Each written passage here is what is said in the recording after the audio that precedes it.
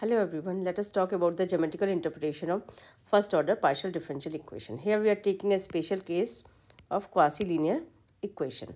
So quasi-linear equation means what? It is a first order partial differential equation, equation number 1 aux plus u buy equal to c. ux means what?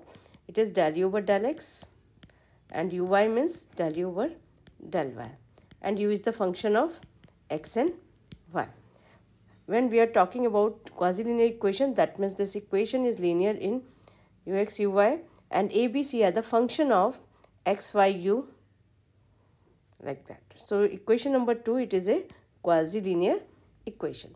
So let, let us discuss about the geometrical interpretation. So the possible solution of this type of pd is what? U equal to uxy okay? The uh, the solution of this PD is what? U equal to UXY. This is the form. And what would be the implicit form? Implicit form means what? Uh, we can write UXY minus U equal to 0. So, this is the possible solution of the above PD. Understand? Solution of the PD 2. Okay. So in an implicit form, we can write like that.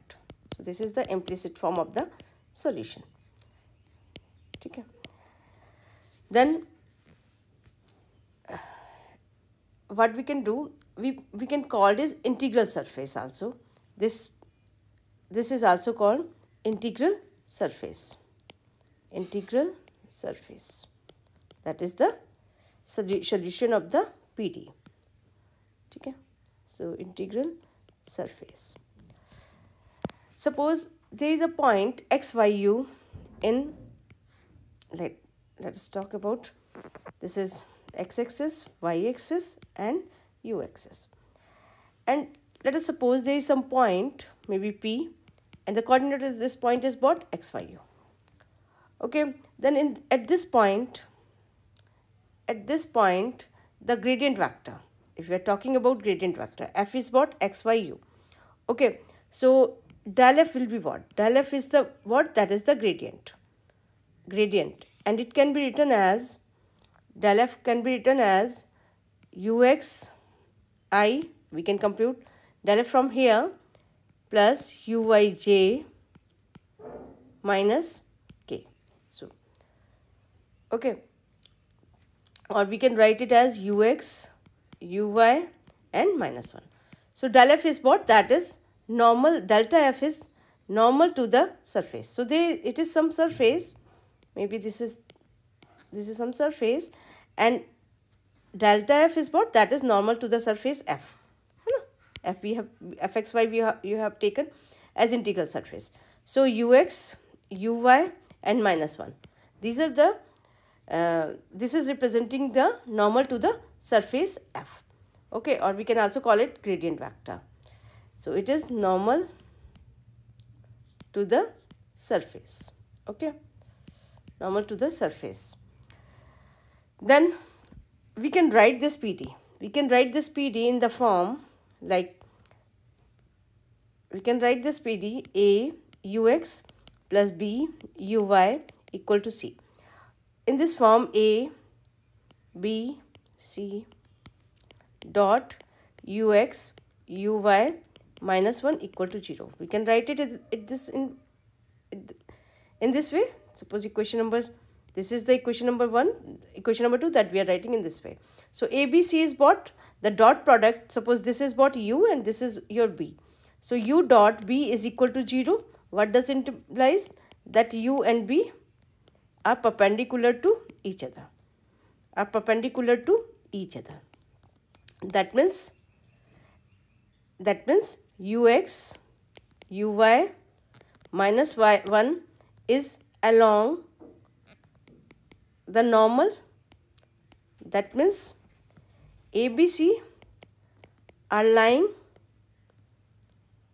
ABC are lying along the are lying along the tangent plane ठीक है along the tangent plane Okay. So ABC are lying along the tangent plane and UX, UY minus 1 they are perpendicular to the surface. Okay, solution surface.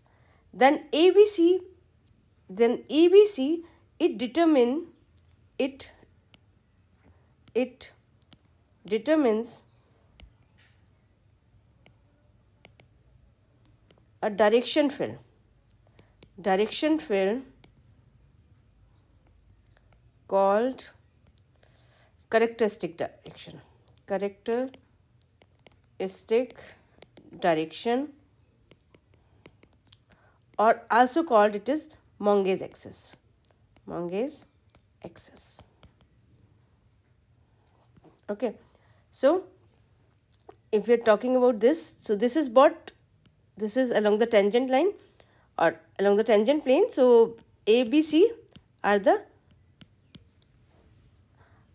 uh, ABC are the direction ratio along the line tangent line. Okay.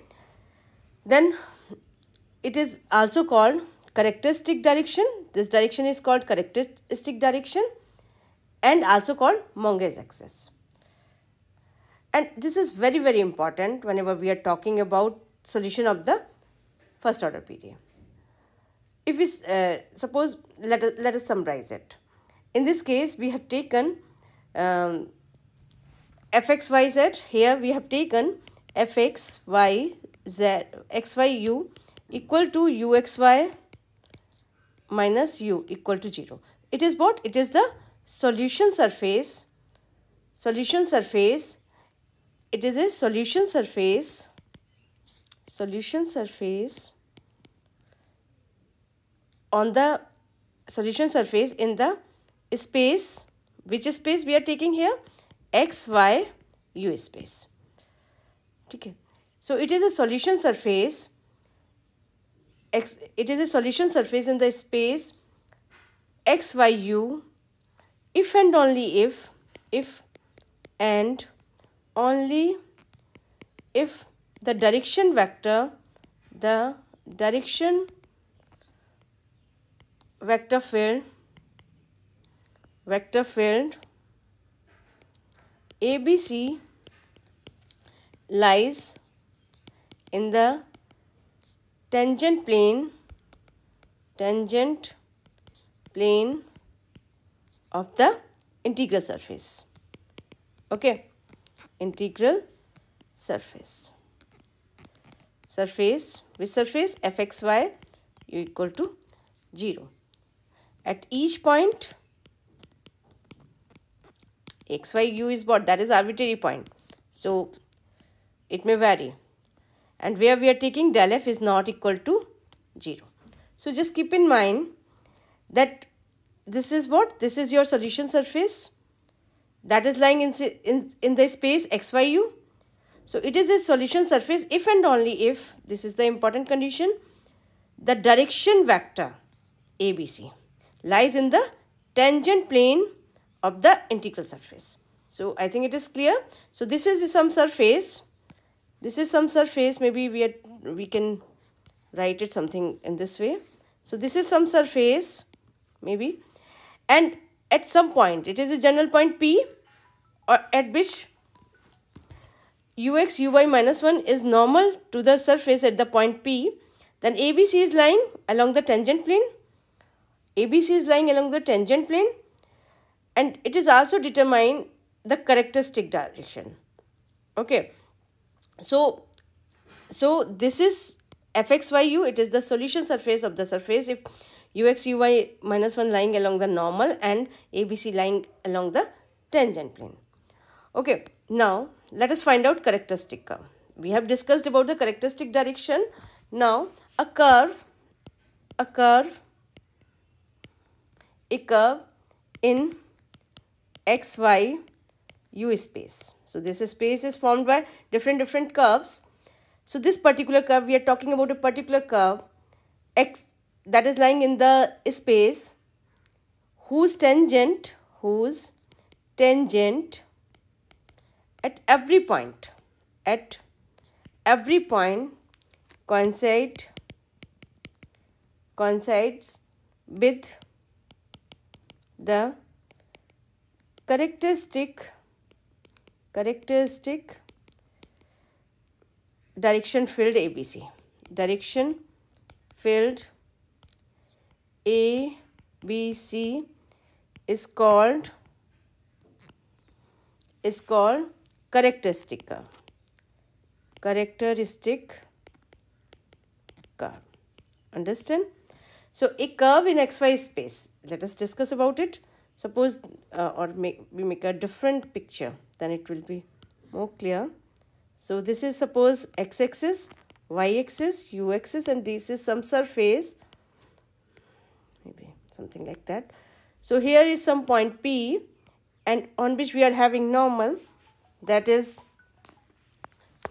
ux uy minus 1 and uh, it is along the and uh, tangent ABC are lying along the tangent plane. Then there is some curve maybe something like that.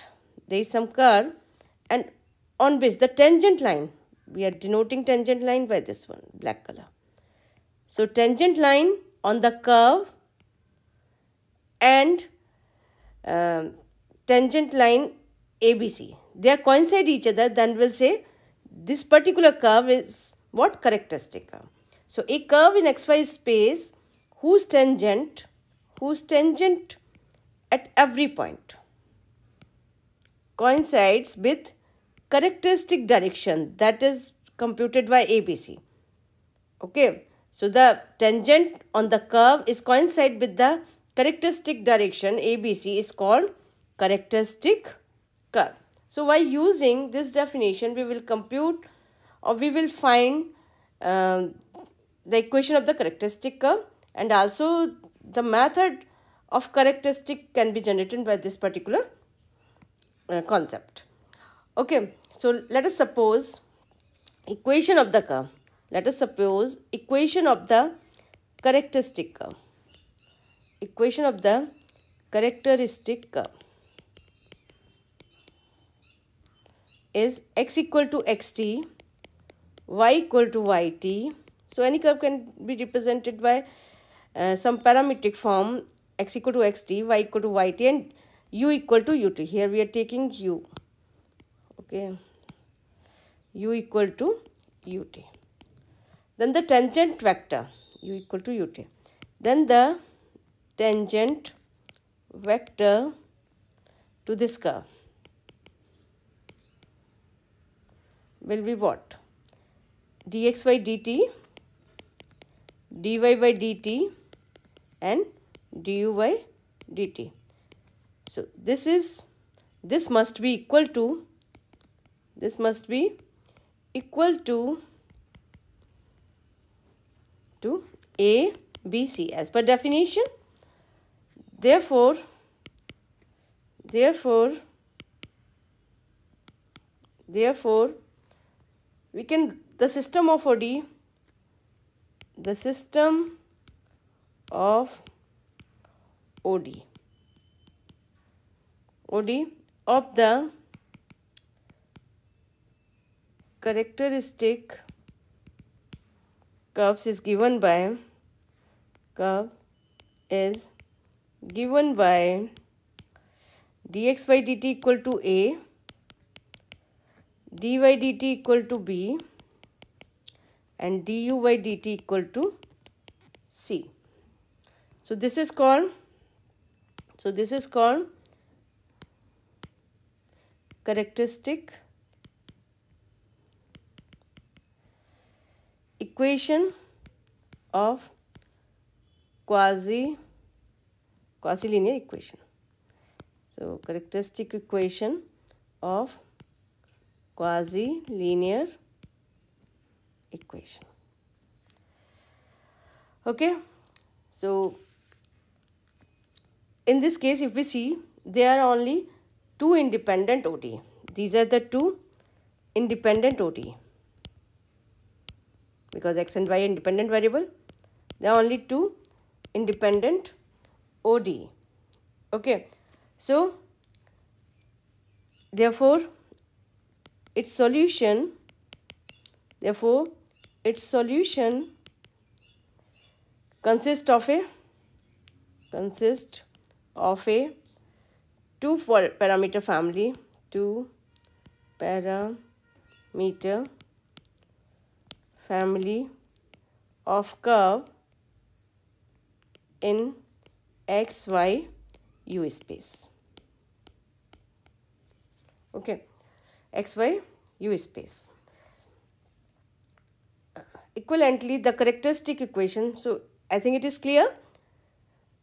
Um, when there are two independent equations so it must have two parameter family of curve in the xy space okay now the characteristic equation characteristic equation characteristic equation in non parametric form non parametric form है ना? T जो है आपका parameter है यहाँ पर। So D X upon A D Y upon B and D U upon C this is also called Lagrange method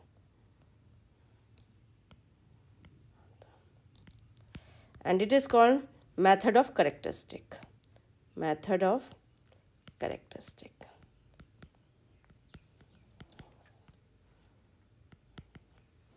Method of characteristic. So Lagrange method. Understand?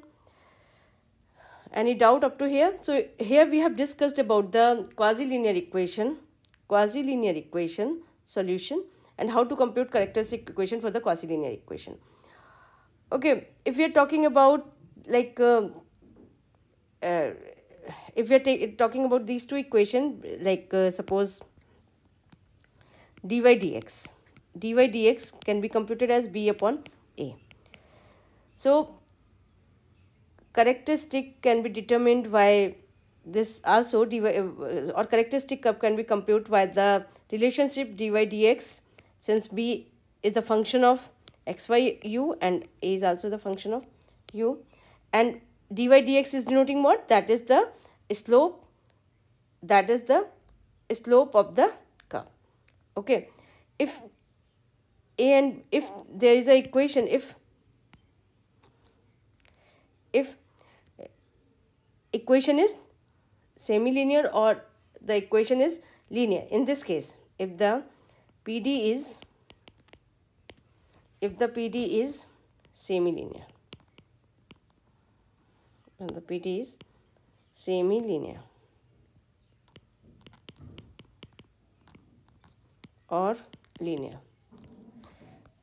In that case, we are getting dy dx as b upon a and b and a are the function of x and y. Okay.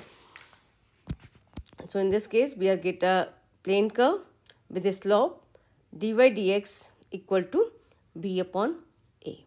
So this is the geometrical interpretation of quasi-linear equation. Question we will do in the next